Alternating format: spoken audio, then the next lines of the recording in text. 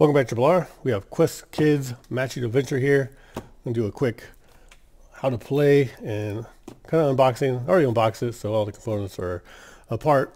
Well, most of them, because I tried to figure out how to play. Did a video, didn't turn out great, so we'll do a, another one here. Matching Adventure, 1 to 6 players by Treasure Trolls Games. It's the back. Gonna have some heroes, some bad guys, some allies, all right, some gold we want to get. Very nice components on this one.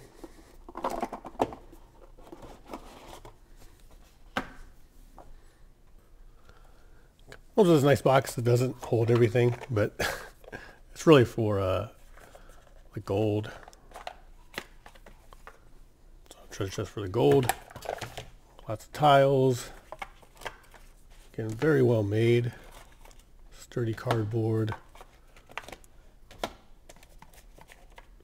So we have everything ready for the easy mode. So there's three things to play. You have shortest, easiest, longer, and the hardest mode. And it shows you how to set up each one.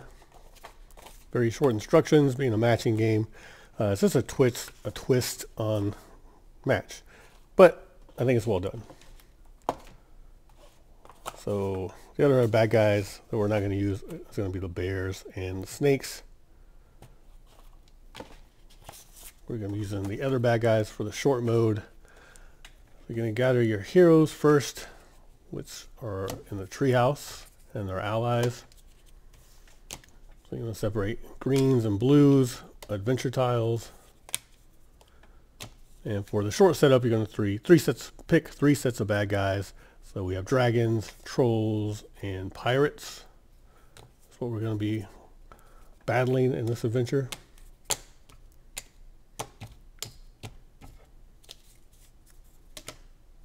So green together, blues together. Because it does ask you to set it up a certain way. I'm not sure if it matters too much. Being a memory game.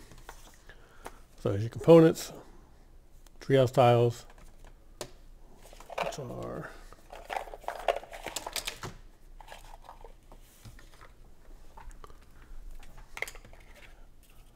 here. These are your heroes and allies. Put this aside. So your heroes kind of this gold metallic back and your allies will not. Will have, each have a star rating. So you're going to shuffle those up, make a grid.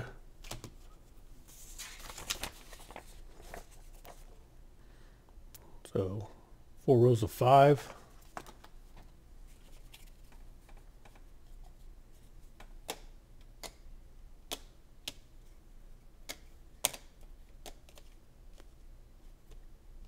So you do need a little bit of table space for this because the adventure tiles go around the treehouse. Water on the bottom, a river. So each bad guy has one forest and one river tile.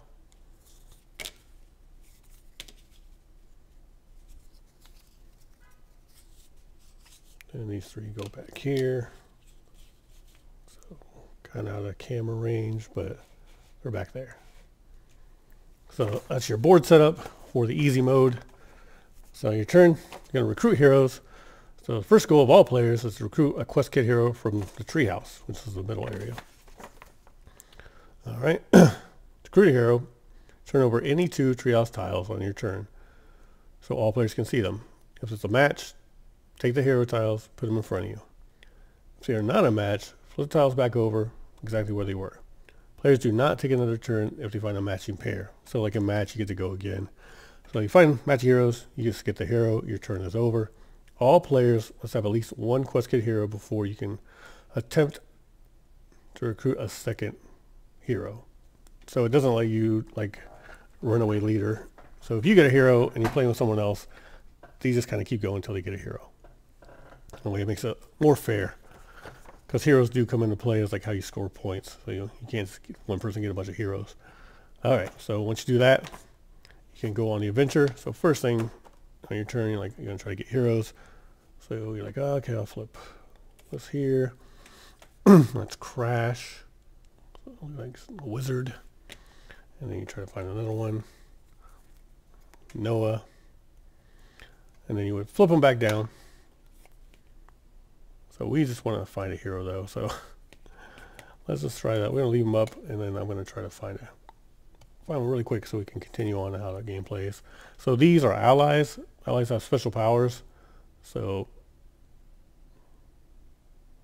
it says redraw one treasure token. So that comes into play.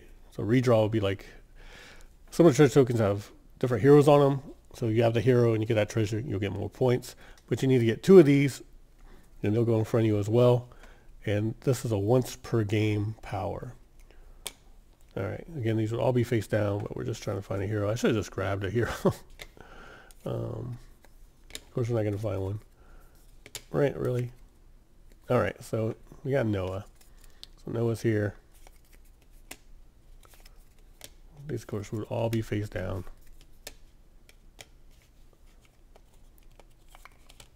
So the other person would go, they would get a hero. But we'll just run through as the one player. So we have this now, we have the three stars and the no star hero. You go in front of you. So that is one of your heroes. So now that we have that, going on an adventure. After you recruited a hero, you can now try to scare away matching bad guys on your turn. A player cannot go on an adventure until they have recruited at least one Quest Kids hero. So you can't go with allies, you have to have a hero. Alright. Each bad guy has one forest adventure tile and one river adventure tile. Therefore, you must search both the forest and the river to make a match. When you go on your adventure, you turn over any three adventure tiles of your choice so all players can see. So you get to turn over three. If you find a match, take the two tiles and place them in front of you.